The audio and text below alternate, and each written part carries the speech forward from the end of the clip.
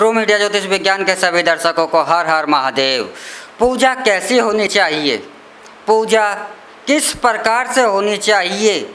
और पूजा कितने प्रकार की होती है?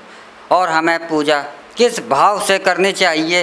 कैसे करनी चाहिए जिससे कि हमारी पूजा जो है, हमारी आराधना जो है, उससे ईश्वर अति शीघ्रता के साथ प्रसन्न हो सके? तो पूजा जो होती है, ईश्वर की आराधना जो होती है, वह दो प्रकार से होती है।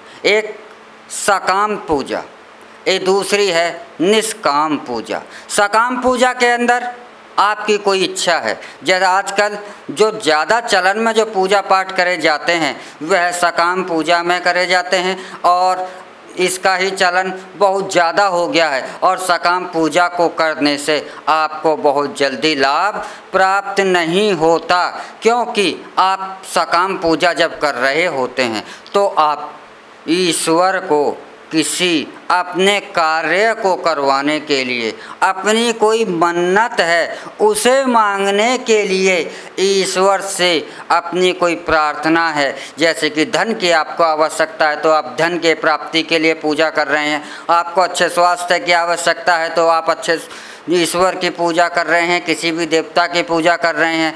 आपको अन्य किसी वैभव की आवश्यकता है तो उसके लिए आप पूजा कर रहे हैं। तो इसे कहा जाता है सकाम पूजा, और सकाम पूजा में कहीं ना कहीं आपका लोभ, आपका लालच, आपका कोई ना कोई कार्य जुड़ा होता है। तो इस सकाम पूजा को करने से आप ईश्वर को जब भी याद कर रहे हैं, जब आपको ईश्वर की आवश्यकता हो रही है। तो आप अपने उद्देश्य के लिए ईश्वर की पूजा कर रहे हैं और जो दूसरी प्रकार की जो पूजा होती है, इसे निष्काम पूजा होती है। यह निष्काम पूजा सर्वश्रेष्ठ मानी जाती है, क्योंकि इसमें जो भी ईश्वर की आराधना करता है, ईश्वर की उपासना करता है, भगवान की पूजा करता है तो उसके मन में एक भाव होता है कि वह ईश्वर से अपनी पूजा के लिए, अपनी आराधना के बदले, अपने जप के बदले, अपनी तपस्या के बदले वह ईश्वर से कुछ नहीं चाहता, ईश्वर से कुछ नहीं माँगता। उसका एक मन में यह भाव होता है कि ईश्वर ने मुझे इस संसार के अंदर जन्म दिया है। ईश्वर ने इस संसार में मुझे यह जीवन दिया है। तो इस जीवन में मेरा भी अपना धर्म है कि मैं ईश्वर की आराधना करूँ और ईश्वर की पूजा करूँ और ईश्वर को सदैव ही याद करूँ और आप कि यह निष्काम पूजा जो होती है। आप अगर ये पूजा, निष्काम जो कर रहे हैं, इस निष्काम पूजा से आपको जो सकाम पूजा के बदले बहुत जल्दी ही आपको जो मन में इच्छाएँ होती हैं, वह बिना मांगे ही आपको स्वयं ही मिल जाती हैं। क्योंकि ईश्वर जो है, एक पिता है। पिता को सदैव ही पता होता है। कि मेरी संतान के पास किस चीज़ की आवश्यकता है? मेरे संतान के मन में क्या है? मेरी संतान को कौन सा कष्ट है? और जब कोई भी प्राणी ईश्वर की कष्ट में होते हुए भी अगर बिना मांगे, निष्काम, किसी भी काम की इच्छा के बिना वह उसकी आराधना करता है। तो ईश्वर इससे अति शीघ्र प्रसन्न होता है तो और बहुत जल्दी ही उसकी जो भी दुख होते हैं, जो भी कष्ट होते हैं और वह बहुत जल्दी ही पूर्ण रूप से कष्ट समाप्त हो करके वह सुख की ओर अब स्वयं ही चला जाता है। जबकि सकाम पूजा में, सकाम पूजा में आज तो सकाम पूजा इस प्रकार की हो गई है कि व्यक्ति बीस रुपये अगर मंदिर में चढ़ाएगा तो वह पूरी दुनिया मांग लेगा।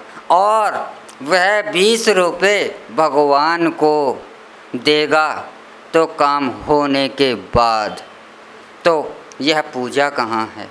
यह तो व्यापार है। अरे, हम ईश्वर से व्यापार करने चले हैं। ईश्वर से हम कैसे व्यापार कर लेंगे? ईश्वर के तो हम प्रार्थना कर सकते हैं, ईश्वर की हम आराधना कर सकते हैं।